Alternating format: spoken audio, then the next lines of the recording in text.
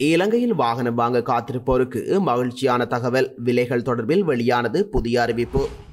ஜாலில் அதிரடியாக கைது செய்யப்பட்ட நான்கு இளைஞர்கள் அறுபது பவுண்ட் நகைகளும் மீட்பு.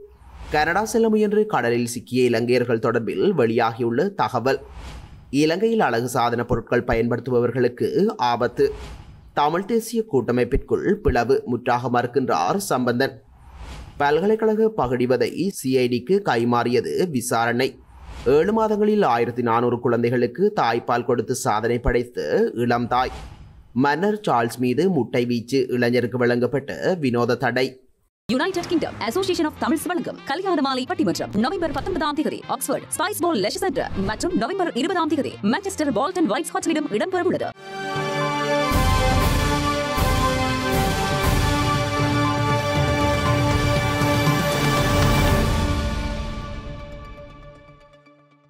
இலங்கையில் வாகனங்களின் விலை தொடர்பான தகவல்கள் வெளியாகியுள்ளது. இதன்படி சந்தையில் தற்போது வாகனங்களின் விலையில் கடுமையான வீழ்ச்சி பதிவாகி வருவதாக தெரிவிக்கப்படுகின்றது. மிக வேகமாக வாகனங்களில் விலை வீழ்ச்சியடைந்து வருவதாக இலங்கை வாகன இறக்குமதியாளர்கள் சங்கம் குறிப்பிட்டுள்ளது. மேலும் Axio Premio CHR Vezel Wagon R Passo Vitz Grace KDH போன்ற பல கார் மற்றும் வேன் வகைகளின் விலைகள் குறைந்து வருவதாக அந்த சங்கத்தின் செயலாளர் பிரசாத் குலதுங்க தெரிவித்துள்ளார். ஜாழ்ப்பாணம் ஊர்காவற்றுறை காவல்துறை பிரிவிற்குட்பட்ட பகுதிகளில் கடந்த மூன்று மாதங்களுக்கு மேலாக வீடுகளை உடைத்து திருட்டுக்களில் ஈடுபட்டு வந்தனர் என்ற குற்றச்சாட்டின் கீழ் இரண்டு இளைஞர்கள் கைது செய்யப்பட்டனர். அவர்களுக்கு உடந்தையாக இருந்தனர் என்ற குற்றச்சாட்டில் மேலும் இருவர் யாழ்ப்பாணம் மாவட்ட குற்றத்தடுப்பு காவல்துறையினரால் நேற்று கைது செய்யப்பட்டனர். சந்தேக நபர்களிடமிருந்து அறுபது தங்கப்பவுன் நகைகள் மற்றும் பெருந்தொகை பணமும் கைப்பற்றப்பட்டதாக காவல்துறையினர் தெரிவித்தனர். கடந்த ஆகஸ்ட் மாதத்திலிருந்து நவம்பர் மாதம் வரையிலான காலப்பகுதியில் காரைநகர் புங்குடுதீவு ஊர்காவற்றுறை வேலனை உள்ளிட்ட பிரதேசங்களில் பகல் நேரங்களில் வீட்டில் உள்ளவர்கள் வெளியில் சென்ற வேளைகளில் வீடுகளை உடைத்து நகைகள் உள்ளிட்ட பெறுமதியான பொருட்கள் திருடப்பட்டமை தொடர்பில் ஊர்காவற்றுறை காவல்துறையில் முறைப்பாடுகள் வழங்கப்பட்டிருந்தன. ஜாழ்ப்பாணம் காவல்துறை பிராந்திய மூத்த காவல்துறை அத்தியட்சகரின் கீழ் இயங்கும் மாவட்ட குற்றத்தடுப்பு காவல்துறை பிரிவினர் ஊர்காவற்றுறை காவல் நிலையத்தில் உள்ள முறைப்பாடுகள் தொடர்பில் விசாரணைகளை முன்னெடுத்திருந்தனர். இதன்படி யாழ்ப்பாணம் கொட்டடி பகுதியைச் சேர்ந்த இருபது மற்றும் இருபத்தி ரெண்டு வயதுடைய இருவர் கைது செய்யப்பட்டனர். அவர்களிடமிருந்து திருட்டு நகைகள் கொள்வனவு செய்த மேலும் இருவரும் கைது செய்யப்பட்டனர். கைது செய்யப்பட்ட சந்தேக நபர்களிடமிருந்து அறுபது பவுண்ட் நகைகளும் ஒரு தொகை பணமும் கைப்பற்றப்பட்டன. கைது செய்யப்பட்டவர்களிடம் மேற்கொள்ளப்பட்ட ஆரம்பகட்ட விசாரணையின் போது வேலனை அராலி வீதியில் உள்ள வீடொன்றில் இருபது பவுன் தங்க நகைகளும் பங்களாவடி பகுதியில் உள்ள வீடொன்றில் ஏழரை பவுன் தங்க நகைகளும் சுருவில் பகுதியில் உள்ள வீடொன்றில் பதிமூன்று பவுன் தங்க நகைகளும் புங்குடுதீவு பகுதியில் உள்ள வீடொன்றில் மூன்று பவுண்ட் நகைகளும் திருடப்பட்டமை கண்டறியப்பட்டுள்ளது. அத்துடன் முழங்காவில் மற்றும் காரைநகர் பகுதியில் உள்ள இருவேறு வீடுகளில் பதினோரு பவுன் நகைகளும் திருடியுள்ளமை சந்தேக நபர்களால் ஒப்புக்கொள்ளப்பட்டு வாக்குமூலம் வழங்கப்பட்டுள்ளமை குறிப்பிடத்தக்கது.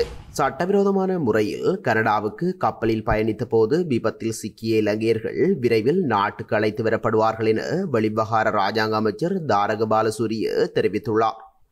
படகு ஆபத்தில் சிக்கிய போது அதிலிருந்து மாலுமி உட்பட தொழிலாளர்கள் தப்பியோடியதாக முதற்கட்ட விசாரணையில் தெரிய வந்துள்ளது முன்னூற்றி மூன்று இலங்கையர்களை ஏற்றிச் சென்ற லேடி ஆர்த்திரி என்ற மியன்மார் கொடியுடனான மீன்பிடி கப்பல் கடந்த திங்கட்கிழமை வியட்நாம் மற்றும் சிங்கப்பூர் கடற்பரப்பில் தொழில்நுட்ப கோளாறு காரணமாக கரையொதுங்கியது.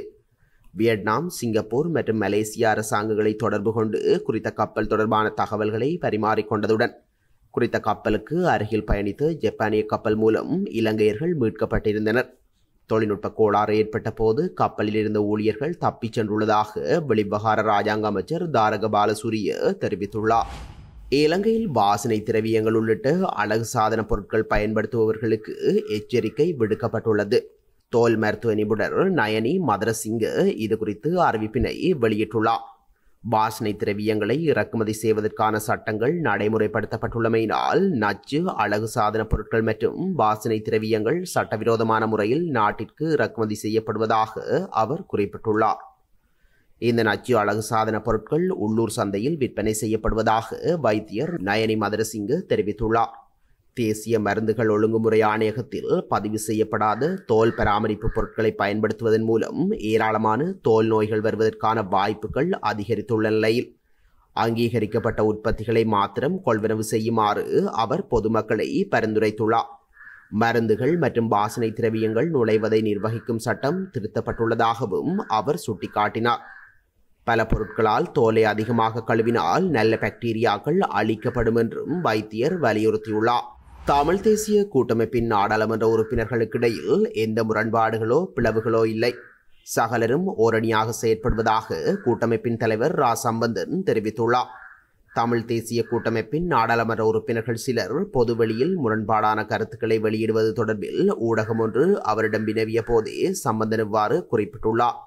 அவர் மேலும் தெரிவிக்கையில் தமிழ் தேசிய கூட்டமைப்பு ஜனநாயக கட்சி கூட்டமைப்பின் நாடாளுமன்ற உறுப்பினர்கள் கருத்துக்களை சுதந்திரமாக வெளியிட முழு உரிமை உண்டு. ஒரு சிலரின் கருத்துக்களை வைத்துக்கொண்டு கூட்டமைப்பு எம்பிக்களுக்கிடையில் முரண்பாடு பிளவு என்று எடை போடக்கூடாது. உறுப்பினர்களுக்கிடையில் எந்த முரண்பாடும் பிளவும் இல்லை. இதேவேளை உள்ளூராட்சி சபை தேர்தல் தொடர்பில் சம்பந்தன் கருத்து வெளியிடும் போது உள்ளூராட்சி சபை தேர்தலை பிற்போடாது உரிய காலத்தில் அதை அரசாங்கம் நடத்த வேண்டும். இதேவேளை மாகாண சபை தேர்தலையும் அரசாங்கம் விரைந்து நடத்த வேண்டும். இந்த தேர்தலையும் எதிர்கொள்ள தமிழ் தேசிய கூட்டமைப்பு தயாராகவே உள்ளதென்றும் அவர் மேலும் குறிப்பிட்டுள்ளார்.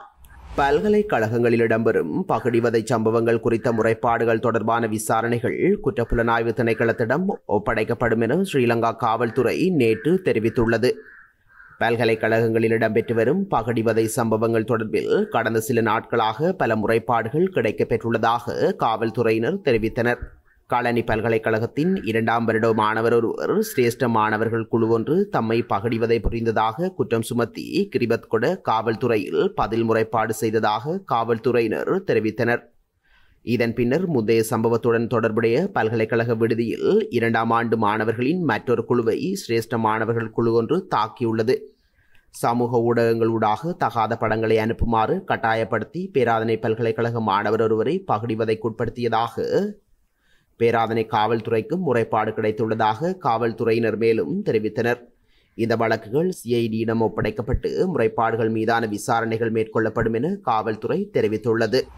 கோவையைச் சேர்ந்த பெண்ணொருவர் கடந்த ஏழு மாதங்களில் ஆயிரத்து நானூறு குழந்தைகளுக்கு தனது தாய்ப்பாலை கொடுத்து சாதனை புத்தகத்தில் இடம்பெற்றுள்ளார். தாய்ப்பால் இல்லாமல் தவித்த குழந்தைகளுக்கு ஒரு அன்னையாக மாறி அவர் செய்த உன்னத செயலை அனைவரும் பாராட்டி வருகின்றனர். தனக்கு இன்னும் வாய்ப்பு கிடைத்தால் இந்த சேவையை தொடர்ந்து செய்வேன் என்றும் அந்த பெண் நிகழ்ச்சியுடன் தெரிவித்தார். கோவை மாவட்டம் கனியூரைச் சேர்ந்தவர் சிந்து மோனிகா வயது இருபத்தி ஒன்பது. பொறியியல் பட்டதாரியான இவருக்கு அண்மையில் குழந்தை பிறந்துள்ளது. தனது குழந்தைக்கு தாய்ப்பால் புகட்டி வந்த சிந்துவுக்கு எத்தனையோ குழந்தைகளுக்கு தாய்ப்பால் கிடைப்பதில்லை என்ற உண்மை தெரிந்தது. இதனை அடுத்து இதுபோல குழந்தைகளுக்கு உதவ வேண்டும் என நினைத்த சிந்து மோனிகா தனது தாய்ப்பாலை சேகரித்து கொடுப்பது என முடிவு செய்து இவ்வாறு ஆயிரத்து நானூறு குழந்தைகளுக்கு தனது தாய்ப்பாலை கொடுத்து சாதனை புத்தகத்தில் இடம்பெற்றுள்ளார். மன்னர் சார்ல்ஸ் மீது முட்டை வீச்சு சம்பவத்தில் ஈடுபட்ட இளைஞருக்கு வினோதமான தடை விதிக்கப்பட்டுள்ளது. யார்ஷேயர் பகுதியில் மன்னர் சார்ல்ஸ் கமிலா தம்பதிகள் பொதுமக்களை சந்திக்க சென்றபோது அவர்களை தாக்கும் நோக்கில் இளைஞரொருவர் அவர்கள் மீது முட்டைகளை வீசியது பரபரப்பை ஏற்படுத்தியிருந்தது. பேட்ரிக் தெல்வெல் என்னும் அந்த இளைஞன் காவல்துறையால் கைது செய்யப்பட்டார். அவர் மீது பொது ஒழுங்கிற்கு குந்தகம் விளைவித்ததாக வழக்கு பதியப்பட்டது. இந்த நிலையில் பேட்ரிக் தொல்வேலுக்கு வினோத தடைகளுடன் பிணை கொடுக்கப்பட்டது. அதாவது குறித்த இளைஞர் பொது இடங்களில் முட்டைகளை எடுத்துச் செல்லக்கூடாது. அத்துடன் மன்னரிடமிருந்து குறைந்தபட்சம் ஐநூறு மீட்டர் தொலைவில் அவர் இருக்க வேண்டும் என்ற நிபந்தனைகளுடன் அவருக்கு பிணை வழங்கப்பட்டதாக பெட்ரிக் கூறியுள்ளார்.